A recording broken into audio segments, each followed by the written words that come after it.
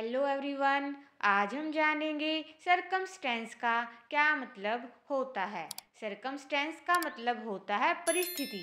स्थिति, घटना, हालत, रुदाद, हाल, हालात और तथ्य। सरकमस्टेंस का प्रयोग किसी भी सेंटेंस में किस प्रकार करेंगे, आइए जानते हैं। They were victims of circumstance वे परिस्थिति के शिकार थे। एक और सेंटेंस है he was simply a victim of circumstance वह तो बस परिस्थिति का शिकार था। अब आप मुझे बताइए, नाई को इंग्लिश में क्या कहते हैं? और वीडियो पसंद आए तो चैनल को सब्सक्राइब ज़रूर करें।